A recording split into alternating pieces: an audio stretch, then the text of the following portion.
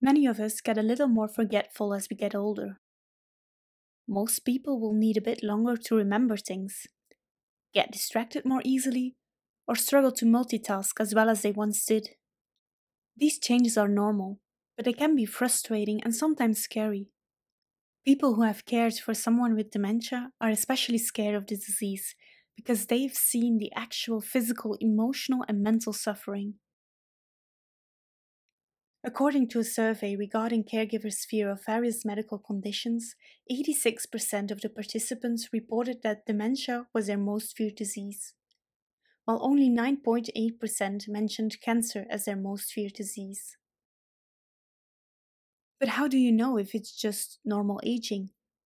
As a rule of thumb, for the doctor to diagnose dementia, a person's symptoms must have become bad enough to significantly affect their daily life, not just be an occasional minor irritation. I'll give you some examples.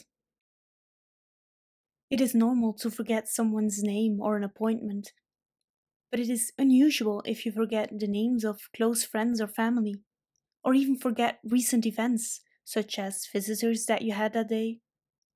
Anyone can forget where they parked their car, but how many forget the name of a car? Have you ever forgotten what a refrigerator is? How about a stove? It is normal to misplace things from time to time. For example, your phone, your car keys, or the TV remote. But it becomes a problem if you find your objects in unusual places.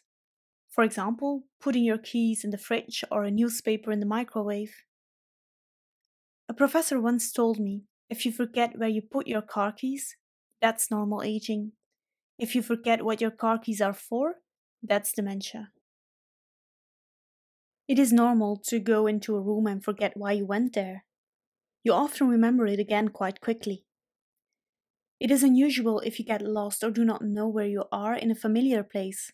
For example, getting lost in a grocery store two miles from home that you've shopped at for 20 years. It is okay to occasionally make mistakes when doing family finances. It becomes a problem when you have trouble keeping track of monthly bills. Some people also start overbuying things. For example, someone who would later be diagnosed with dementia would bring bags and bags of clothes for her grandson.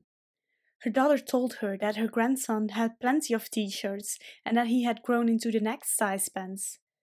But she would bring more t shirts and more pants that were the wrong size. The daughter was very annoyed. Why doesn't she listen to me? The fact was, she was listening, but she couldn't remember what she had told her.